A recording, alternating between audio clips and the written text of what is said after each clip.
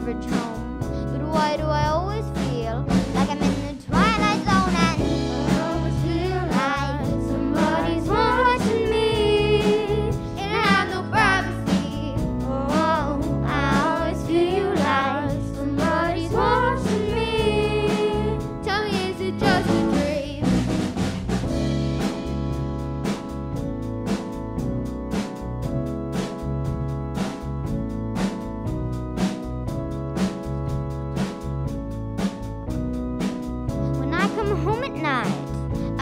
door real tight.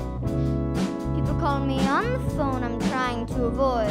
Or can the people on TV see me, or am I just paranoid?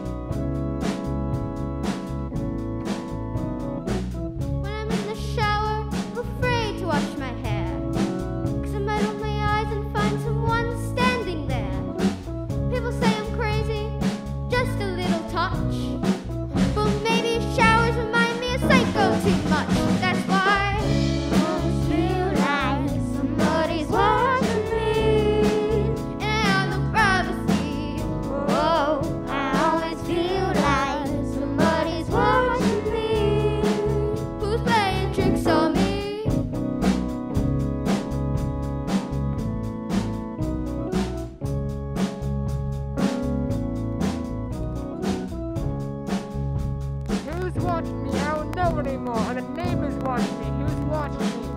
Oh, it's the mailman watching me.